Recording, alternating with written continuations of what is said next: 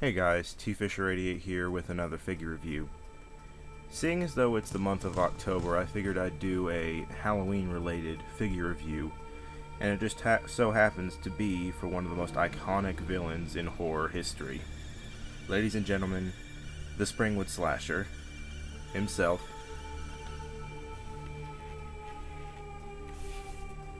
Freddy Krueger. That's right, we'll be looking at Freddy Krueger today.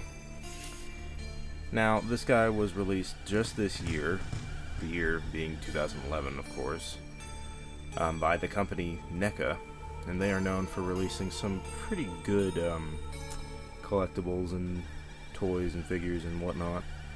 And um, I must say that this is a very nice piece of work from them.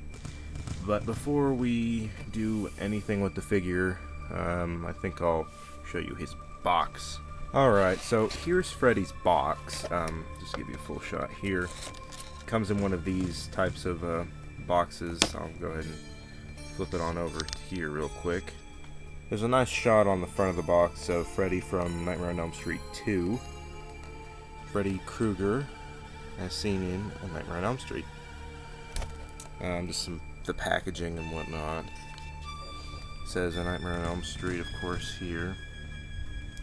The back, real quick. Shows other figures you can get. Can see this. From part 2, 3, and 4. There's the actual figure itself. And just kind of a brief synopsis of the original Nightmare on Elm Street. So, uh, yeah, there you go. There's Freddy's box. Now we'll move on to the figure itself. Um, in terms of articulation, he does have quite a few points. Both arms do rotate 360, just fine. Um, they can also move up and down, and you can also move them at the elbow, up and down like that. And they can also kind of uh, swivel like that, give them more posability in the arms.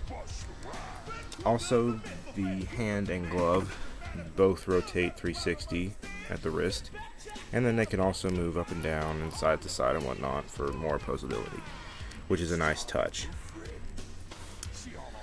Um, there's articulation in the waist. You can kind of move him like that, forward and backward.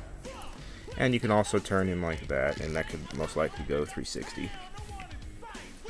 The feet can also move. Um, they can move, I presume, I assume 360, and uh, they can move up and down because they are jointed. Uh, I really don't want to do that because this guy can be a pain to get to stand. Right now he's perfectly fine, but I really don't want to ruin that. So yeah. Um, another point is the actual head. Take his hat off.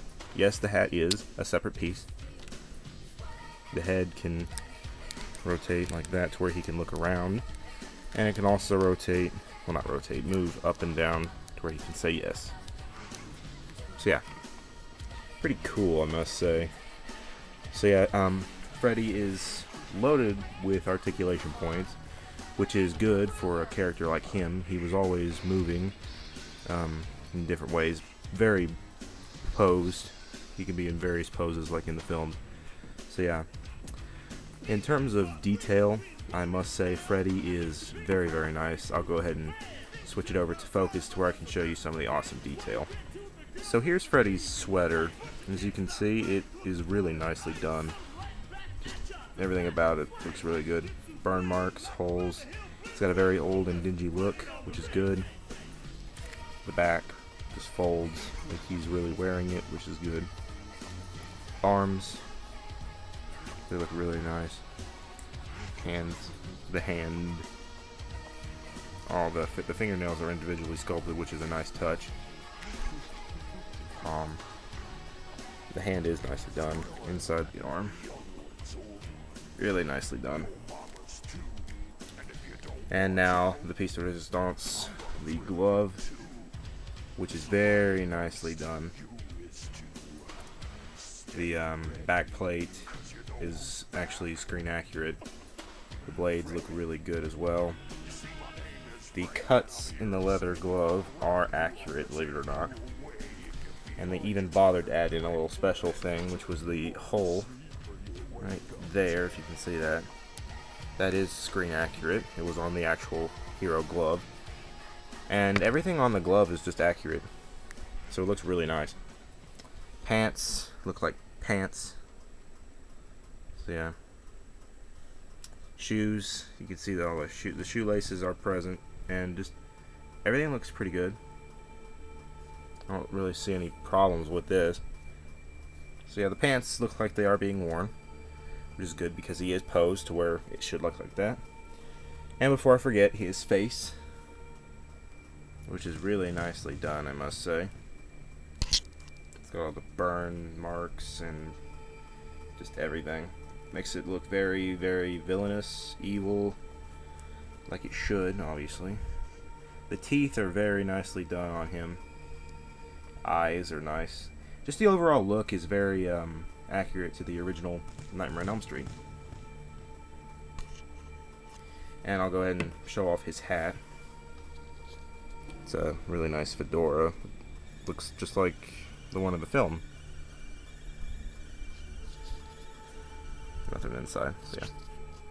So yeah, the hat, very accurate, and all in all, Freddy is great in detail. Now, Freddy came with a few accessories, three to be exact, if you don't count the hat. Um, and I'll go ahead and show those really quick. But, well, here, I'll just show them now.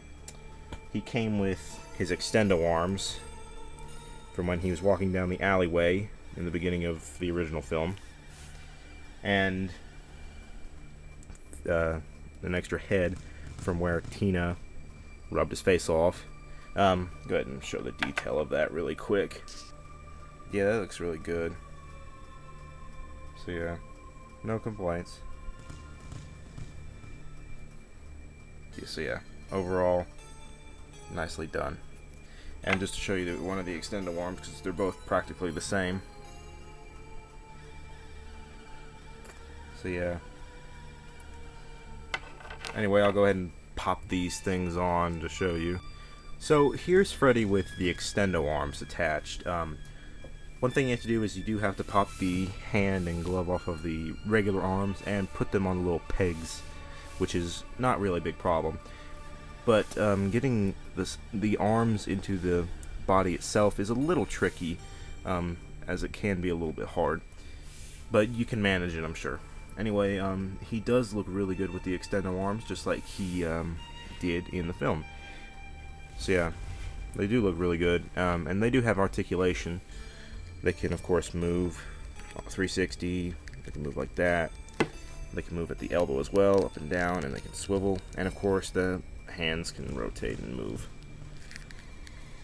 So, yeah, this was a pretty nice um, access accessory for this guy. And overall, it's a nice addition. I uh, went ahead and attached the extra head that Freddy came with. And overall, it does look really nice. Um, although I do prefer the regular head, just to, you know, yeah. And overall, pretty nice.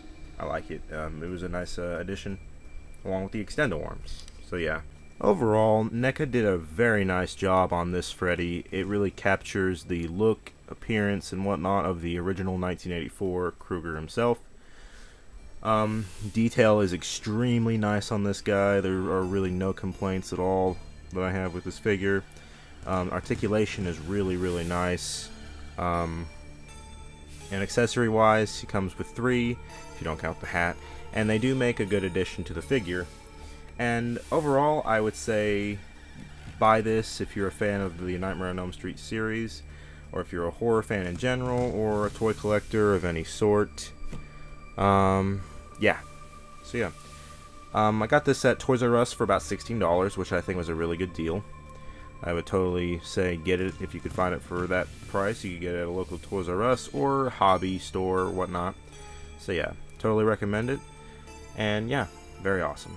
Anyway, guys, I hope you enjoyed this Halloween themed review. And until next time, I'll see you.